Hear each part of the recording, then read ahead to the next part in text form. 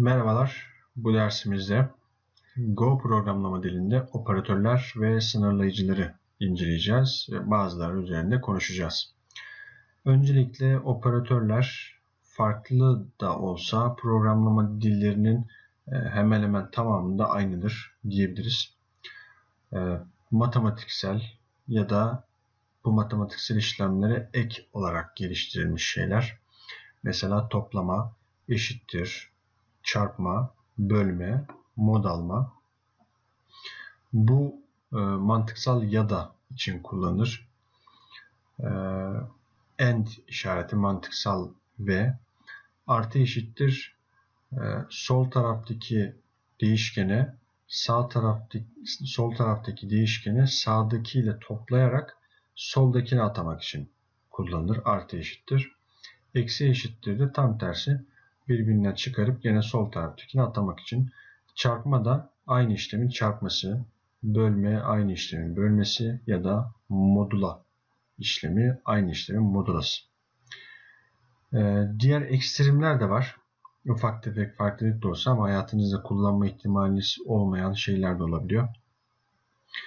Ee, mesela mantıksal ya da işte bu başka bir şey. Bu ekstrem bir durumdu. Onun mantıksal yadası aslında bu ve mantıksal ve bu.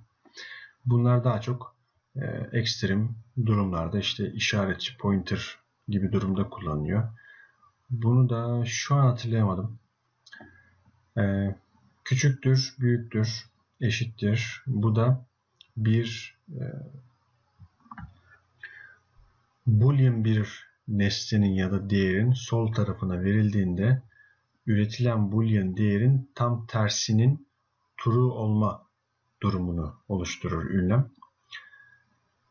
Bu artı artı eksi eksi ise e, ön ek ya da son ek, son ek olarak e, oluşturulur. Bir nesnede kullanılır. Ve mevcut bir e, değişkenin değerini artırma ya da azaltma için kullanılır. E, diğerleri de benzer şekilde şunu bilmiyorsunuz büyük ihtimal hani hiç bilmiyorsanız. Ee, bunu da uygulamalarda anlatacağız.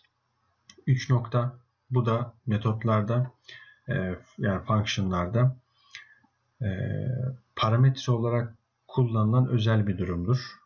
Bunun da ne olduğunu kullanacağız functionlarda. Kapsam e, operatörleri birçok alanda kullanılıyor aslında ama buradaki olayı bir metodun kapsamı değil bu. Buradaki casting işlemidir. Ee, içerisine diyelim int yazdınız. İşte buradaki e, elemanı, buradaki veri tipini int'e kestet gibi.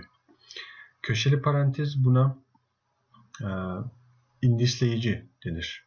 Aslında indekslerde kullanılan bu indeksin elemanını elde etme ya da get ya da set işlemi gibi. Şu da yine birkaç farklı yerde kullanılır. Süslü parantez diyorum buna. Ee, bu da e, dizilerde kullanılıyor. Farklı bir iki yer daha vardı ama genel olarak dizilerde diyebilirim. Ha, tabii ki metot gibi ya da diğer skopların oluşturulmasında da kullanılır. Skop oluşturma işleminde. Ee, virgül e, virgül ayraç olarak kullanılır. Nokta nesnelerin içerisine erişmek için kullanılır. Genel olarak programlama dillerinde. Mesela bir sınıf var diyelim. Diğer dillerden örnek veriyorum. Ee, Go'da sınıf yok çünkü struct var.